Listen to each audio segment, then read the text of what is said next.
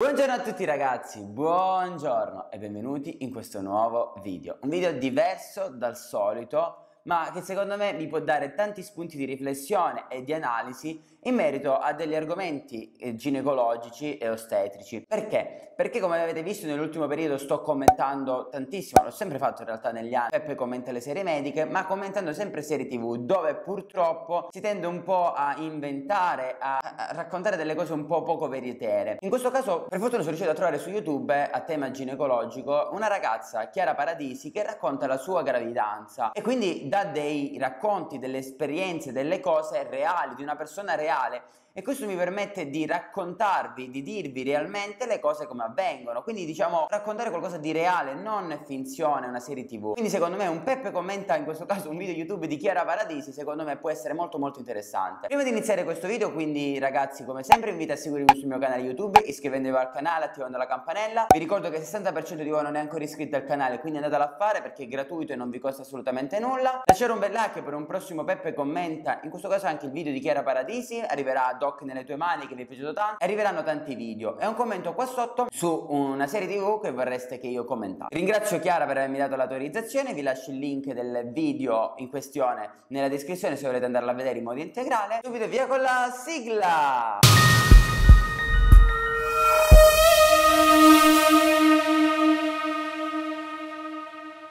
Eccoci qua su YouTube, andiamo subito a cercare il video di Chiara. Andiamo a vedere questo video. Prima visita al ginecologo, 2 o 1? Perdonatemi le condizioni, ma adesso ci arriveremo qui nel presente, ma intanto vi... io sono la Chiara del futuro, in questo momento. Ah, ok. Intanto vi lascio... Che bello! Vabbè. Il ginecologo e che adesso vi dirò, eccolo qua, però intanto vi lascio un paio di clip. Che bella quella cartellina, ce l'ha pure mio padre. Sta cavolo di pubblicità.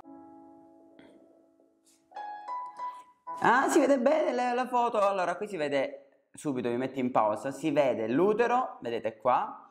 Qui c'è il sacco vitellino e si vede la bozza embrionario. Lo vedete quella parte bianca in alto? È la bozza embrionario, che bello. Ci siamo un po' tutti. Olè, ci siamo un po' tutti. Guarda, guarda la faccia della contessa. Quanti vanno dal ginecologo? Ebbene sì, per le più attente avranno già capito. È uno! Eh sì, sì, si capisce. Un cipollino o una cipollina mi esce eh più facile. È ancora impossibile sapere il sesso. È uno, è uno piccolino, bellissimo. E. Metto un attimo in pausa Chiara per fare quella precisazione, diciamo, dell'importanza della prima ecografia, che molte volte le persone non le fanno. Fanno le beta, vedono che sono in gravidanza e non fanno una visita di controllo, un'ecografia di controllo. Dopo mille di beta è fondamentale andare a fare un'ecografia. Perché ragazzi? Le beta ti dicono che tu sei in gravidanza, in realtà ci sono anche le patologie del trofoblasto che danno un aumento delle beta, però per sintetizzare diciamo sei in gravidanza. Però non ti dici dove è localizzata la gravidanza, è l'extra, la gravidanza extraterina, quindi con una localizzazione anomala della gravidanza, potrebbe dare problemi. E quindi è importante fare un'ecografia dopo mille di beta perché prima non si vede nulla per localizzare in modo corretto la gravidanza all'interno dell'utero. E quindi essere tranquilli che non ci sia una gravidanza extraterina. È molto molto importante per evitare che si arrivi in condizioni un po' più avanzate dove c'è il rischio di rottura della tuba o di altre complicanze e quindi ricorrere e correre in ospedale adesso parliamo un po'. Oltretutto mi ha dato il mio ginecologo questa meravigliosa cartella. Piccola cosa, queste qua le danno gli informatori e ginecologi, ma sono bellissime ed è una cosa molto importante la, la cartella clinica della gravidanza. Vedo che molti colleghi o anche molte mamme tendono ad ammucchiare i fogli senza una cosa. Invece credo che sia compito del ginecologo insegnare, ma comunque anche la madre, ad avere quella cartellina là in modo ordinato. Vedete ci sono dei fascicoletti, mettere tutto in ordine cronologico, l'ecografia, terapie, i vari esami ematici, tutto ciò che viene fatto in gravidanza aiuterà prima di tutto quando voi andrete a fare un ricovero in ospedale ad avere una visione più chiara della vostra condizione clinica, quindi a trovare rapidamente gli esami e non perdere tutti gli esami e in secondo luogo ad avere una visione più completa e rapida anche a voi mamma quando vi chiedono ma la morfologica l'hai fatta? Sì, eccola qua, subito pronta. È veramente una banalità ma che aiuta tanto ginecologo diverso da quello che mi seguì ovviamente le altre volte, e, cioè l'altra volta e come sapete io ho avuto un percorso un po' bruttino con, con Lara, ecco, insomma, per quanto riguarda eh, ginecologi, eccetera, eccetera. Avevo raggiunto... Poi andremo nel dettaglio di questa questione. Io ho avuto modo di chiacchierare con Chiara qualche giorno fa in merito a questo video. Lei mi ha detto che ha avuto un po' di problemi col precedente ginecologo per una questione che lei era molto giovane, aveva 16 anni, non vorrei dire una fesseria Chiara, perdonami. Parleremo poi magari in un altro video di questa cosa qua perché o se ne esce fuori in questo video vorrei approfondirla perché è una cosa che mi ha toccato molto molto nel profondo sulla gestione che secondo me è stata veramente brutta, però concentriamoci su questo video, approfondiremo magari in un'altra, in un'altra sede, vediamo un attimo.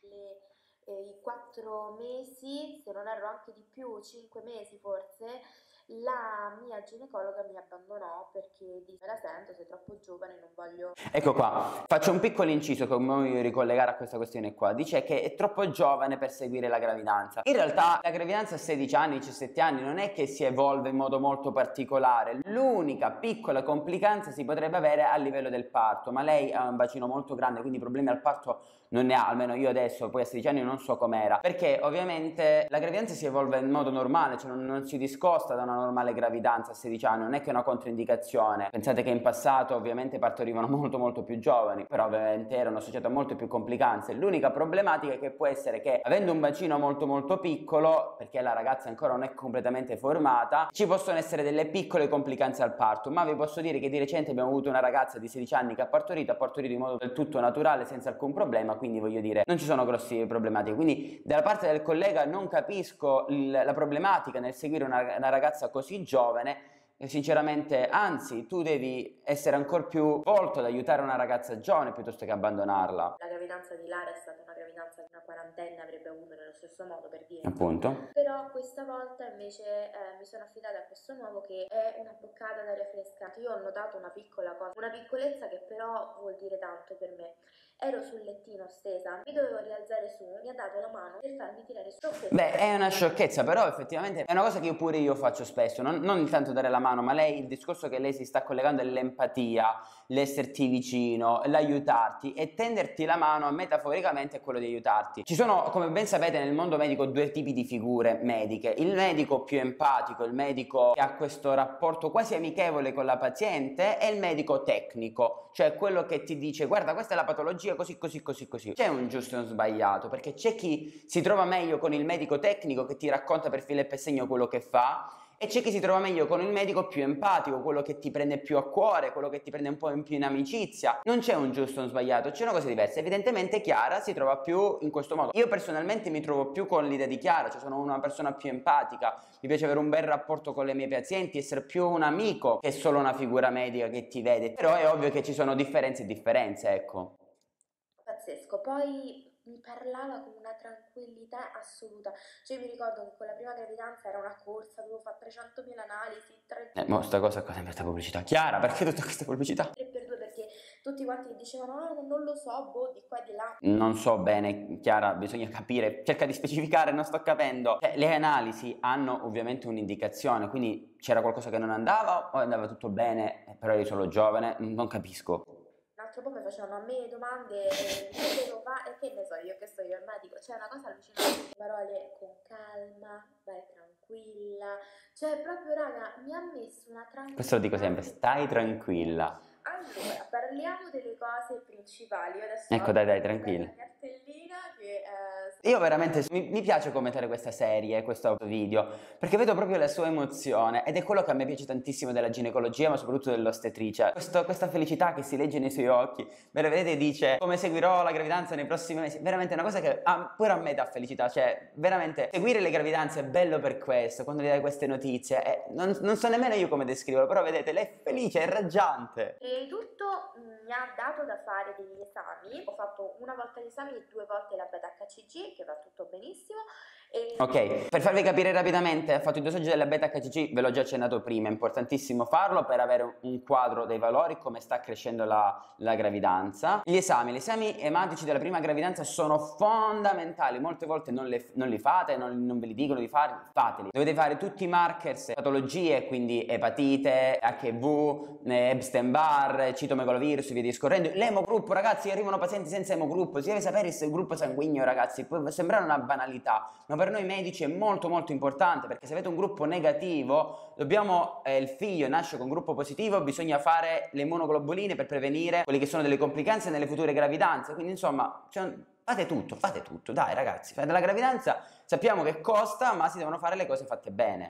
Mi è dato da rifare eh, gli esami per, prima che ci rivediamo la prossima Giusto, che ovviamente se c'è qualcosa di negativo dove non sei immune, mettiamo caso se non sei immune al citomegalovirus devi continuarlo a controllare per la gravidanza e vedere che non ti immunizzi. In alcuni ospedali si fa punto e basta, cioè a prescindere dal fatto che ero giovane l'hanno fatto, però a maggior ragione che ero giovane, calcolate che persino mentre ho partorito io avevo davanti a me una cosa come non so quanti studenti, tipo una decina di studenti davanti a me che io mentre partorivo urlavo perché ho fatto un parto naturale, calcolate che questi prendevano appunti, si avvicinavano, mi guardavano là sto c'è. Chiara, eh, però c'è da dire una cosa, eh, normale, non è perché sei tu, ma in un ospedale universitario voi sapete che entrate ci sono gli studenti, ci sono gli studenti di medicina, studenti infermieristica, studenti di ostetricia ovviamente, ci sono i medici specializzanti, insomma non è questione di prendere appunti e non è perché era Chiara Paradisi o una ragazza di 16 anni, ma semplicemente perché era un parto e ovviamente è così. Lo so, capita, può non essere per la madre la cosa migliore del mondo, ci vuole tatto in queste cose, però purtroppo negli ospedali, purtroppo negli ospedali universitari è così e tutti dobbiamo passare dalla gavetta, cioè da un percorso, tutti dobbiamo partire dalle basi. Vabbè, è un'esperienza diversa, no? Comunque, e meno male che la prendi bene, meno male. Da fare, che è una diagnosi prenatale, lo screening per la sindrome di Down, che si fa sempre. Giusto. Io non mi ricordo di averla fatta nella prima gravidanza, ma perché... Se... Spieghiamo, lei fa eh, lo screening per la sindrome di Down. Non tutti lo fanno, alcuni, ma adesso si sta facendo molto di più. Lei, non so, penso che a 23-24 anni ha avuto la prima figlia a 16 anni, quindi parliamo di 6-7 anni fa. Si faceva pure prima, però non tutti lo fanno. Allora vi spiego, per la sindrome di Down ci sono dei test di screening e sostanzialmente sono due. Eh, da una parte abbiamo la traslucenza nucale, che è una semplice ecografia che si fa intorno all'undicesima settimana di gravidanza, associato a quello che viene chiamato due test, dove si vanno a fare un prelievo di sangue intorno alla decima settimana della free beta HCG e delle PAP, eh, che combinati con il valore DNT di questa traslucenza nucale che si vede con l'ecografia, tramite dei sistemi matematici danno un valore probabilistico, non di certezza, di avere una delle tre trisomie, 13, 18, 21. Quindi l'insieme di questi valori, però non ti dicono di certezza, tant'è vero che i valori, i risultati che ti possono uscire sono di tre tipi, alto rischio, medio rischio e basso rischio. Se basso rischio non si fa nulla, se a medio rischio ti possono consigliare di fare il fetal DNA, eh, che è un esame, ve lo spiegherò fra poco, se invece ad alto rischio si fa l'amniocentesi. L'amniocentesi non si fa perché ha delle complicanze, è l'unico esame che ti dà veramente una certezza insieme al fetal DNA, diciamo, è molto costoso, può avere delle complicanze e allora si dice di fare così, cioè si screenano le persone, si valuta chi ha basso, alto, medio rischio e di conseguenza si indirizza verso un iter diagnostico terapeutico differente in base appunto al rischio. Questione fetal DNA. In alcuni casi non viene proposta sul censo nucale o NT, ma si fa direttamente questo NIP test che è appunto il fetal DNA, è un prelievo di sangue che tramite il sangue materno va ad estrapolare delle percentuali di sangue fetale che in circolo normalmente e oltre a valutarti non ti dà un rischio ma ti dà una certezza della presenza del 13, 18, 21 quindi con un'attendibilità del 99% mentre la traslucenza locale ha una percentuale combinata intorno al 93-94% quindi meno attendibile ma comunque valori alti ti permette anche di andare a valutare a secondo dei pacchetti che fai perché è un esame molto molto costoso ti permette anche di andare a screenare tante altre patologie, quindi patologie cromosomiali, patologie, alterazioni dei cromosomi, non le trisomie baste, ma anche patologie ereditarie, quindi insomma è un esame molto più completo che la traslucenza nucale non può valutare. Sono scuole di pensiero, sono scelte, lei probabilmente stava parlando della traslucenza nucale. Eh, di solito questi, tutti gli esami extra di questo tipo si fanno dopo i 25 anni. Eh, questo qua del... Ni, nel senso che si fanno a tutti, non è che non si fanno a tutti, si fanno. È ovvio che dopo i 25 anni i rischi tendono ad aumentare, ma in realtà i 25 anni è ancora nella norma. Il rischio per le trisomie iniziano dopo i 35-40 anni di età. Dubbio, comunque lo, lo, fai, ma non perché ci sia chissà che cosa, semplicemente si fa e basta. È le screening che si fanno durante la gravidanza. Invece, per quanto riguarda l'amniocentesi e l'esame non invasivo basato sul DNA... È quello che dicevo, il fetal DNA. Vi ho spiegato tutte cose che comunque cioè, il rischio aumenta da 25 anni in su. io avendone 23. No, in sostanza fai le- la traslucenza nucleare, ti esce a basso rischio non fai nulla, alto rischio vai a approfondire. Tantissime persone hanno detto ah ma tu parti con dei chili in più di qua di là, cioè veramente nei, nei commenti ho letto una cattiveria non indifferente ne abbiamo ovviamente parlato di questa cosa e lui per adesso, a parte che è tranquillo, ma perché tutti i valori sono tranquilli, insomma, stiamo Sicuramente per la trisomia 21 incide, ma non tantissimo il sovrappeso. Il sovrappeso incide sul rischio di diabete gestazionale, sul rischio di preeclampsia, quindi di ipertensione gravidica, di colestasi gravidica, incide sulla gravidanza. Purtroppo il sovrappeso incide, ma incide anche da un altro punto di vista. Chiara, te lo dico a te in questo momento, ma lo dico a un capo tutte. Peso in gravidanza, l'alimentazione in gravidanza è fondamentale perché ci sono dei processi chiamati di imprinting genetico che vanno a determinare quello che sarà la vita adulta del bambino. Si è visto in numerosi studi che le pazienti in sovrappeso o che hanno un'alimentazione scorretta durante la gravidanza tenderanno i bambini in età adolescenziale adulta ad essere portati ad avere sovrappeso, sia per una questione metabolica che ormonale e via discorrendo. Quindi insomma è sicuramente una cosa da tenere sotto controllo. Ma Chiara si vede che è una ragazza intelligente e quindi sa, ovvio, la situazione di partenza è quella, non è che può modificarla, poteva modificarla prima, però ormai è questa, ecco. La, la, cosa che più lo preme non è tanto cosa, quanto mangio, dove, quando e perché. Il punto adesso per lui fo- focale, fondamentale, sono le nausee, quindi come farmi passare le nausee e infatti mi ha fatto una lista, raga, di roba da comprare, cioè mi ha dato 300.000 opzioni. Se le cose peggiorano troppo riguardanti le nausee, ecco una cosa che a me nella prima gravidanza non mi aveva proprio nessuno mi aveva dato, mi avevano lasciato proprio a morire tranquillamente, nessuno mi aveva dato niente. Purtroppo c'è da dire che sull'iperemesi gravidica o comunque sulla nausea in gravidanza c'è chi ce l'ha, c'è chi non ce l'ha, ma è una condizione molto molto particolare che è anche difficile dal medico e per il medico controllare. C'è chi con la sola alimentazione riesce a controllarla, chi con qualche integratore, chi con i farmaci non riesce comunque a controllarla. Purtroppo non è questione di chiara e che veramente certe volte è difficile da trattare. E sempre qui torniamo al discorso discorso l'alimentazione gioca un ruolo fondamentale perché in alcuni casi semplicemente modificando l'alimentazione si riesce a controllare in modo importante l'iperemesi gravidica che è una condizione dovuta al progesterone, cioè è una condizione parafisiologica della gravidanza. E non vi dico il nome perché sono dei medicinali che comunque vanno sotto... È il Nuperal, lo dico io che sono medico, è il Nuperal nome, ma manco lo riuscirei a leggere. Eh, Nuperal. Chiara, dai, Nuperal! della scrittura del, del dottore. Eh, vabbè, insomma, ci sono delle pasticche che però sono proprio dei, mh, mm, dei, delle pasticche da prendere in farmacia mh, mm, medicinali, insomma, che eh, tipo si prendono... Una alla mattina, una a pranzo e due alla sera.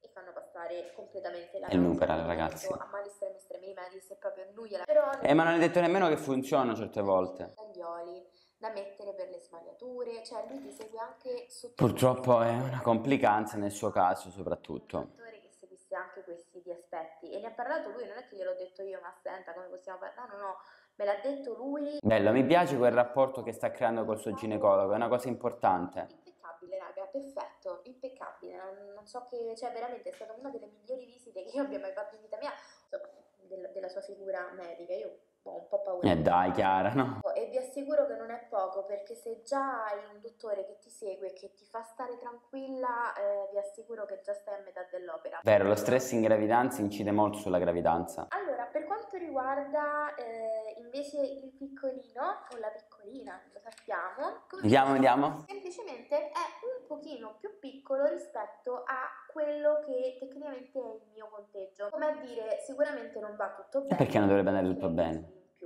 No, non è vero, questo non è vero. Infatti, appunto, vi stavo dicendo, c'è un, non è un problema perché lui non ha detto che è un problema, però è un pochino più piccolo.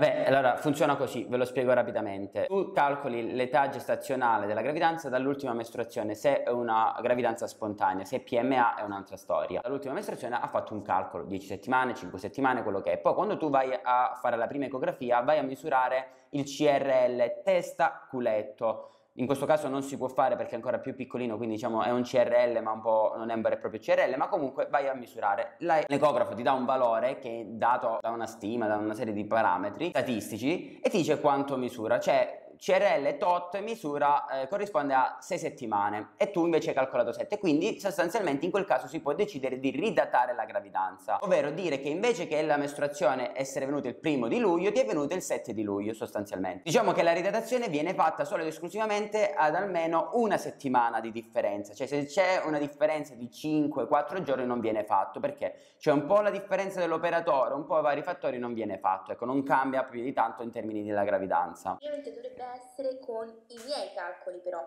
perché il problema qual è? Che io non avendo un ciclo regolare... Ecco, quello è un problema. Io ho detto quale doveva essere l'ultima data dell'ultimo ciclo. Però se non hai un ciclo regolare, l'ovulazione non è regolare e di conseguenza, perché tu hai il ciclo, ma poi l'ovulazione che ti porta alla gravidanza avviene 14-15 giorni dopo e la fecondazione ancora di più.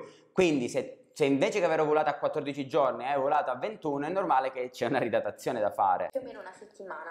Esatto. E la beta HCG va bene, i valori... Eh sì, ma quella è una cosa naturalissima, non succede nulla. Tutto bene, tutto il resto, questa cosa che è un pochino più piccolino, come se appunto ci fosse una settimana indietro, sicuramente è molto probabilmente dovuta al fatto che non ho il ciclo regolare. Cioè regolare. Giusto, brava. Potrebbe essere semplicemente questo fattore, se ho capito bene. Eh sì, sì. Quindi in realtà non è più piccolo, è nella norma, semplicemente che noi avevamo conteggiato come se fosse già a, a una settimana in più di quella che in realtà è. Primare con l'acido folico. Quello è importante, prevenire i difetti del tubo neurale. Quindi la prossima visita ce l'abbiamo il... Un mese. Quindi lo rivedremo per la seconda volta, non vedo l'ora e stavolta vedremo anche molto molto di più. Eh sì. Tu... E non vedo l'ora raga perché ovviamente è bellissimo vederlo, è un'emozione non indifferente, ecco. Guardate, guardate quanto è felice raga, mi, mi fa piacerissimo, guardate quanto è felice. Però Chiara smettila con questa pubblicità! Grazie a te. Mi è piaciuto tantissimo questa puntata, l'avete visto. Fate tutti Peppe commenta le serie mediche dove sempre qualcosa da dire è una gravidanza reale, è la realtà. E sono queste le emozioni che una persona vive, una persona sente durante la sua gravidanza. Quindi mi fa piacere aver commentato questa cosa, avervi anche spiegato magari qualcosa che lei non era riuscita a spiegarvi per una questione ovviamente, perché ovviamente non è un ginecologo, ha detto cose giuste e sono, sono curioso di guardarmi le altre puntate e di guardarle insieme a voi. Quindi fatemi sapere con un commento qua sotto se vi è piaciuta questo Peppe commenta le serie mediche, anzi in realtà non è una serie medica ma vabbè. Fatemi sapere se volete vedere altri episodi come questo, fatemi sapere. Ringrazio Chiara per avermi dato la possibilità di commentarlo anche se pubblico pubblico su YouTube, ma sono comunque fatti privati ed è giusto che vengano raccontati con l'autorizzazione. Grazie, iscrivetevi al canale se non l'avete fatto, andate a vedere il video originale, gli altri video se volete di Chiara, lascio il link in descrizione. Seguitemi su tutti i social, mi raccomando, Instagram, TikTok, mi fa molto piacere e noi ci vediamo nel prossimo video. Ciao ragazzi!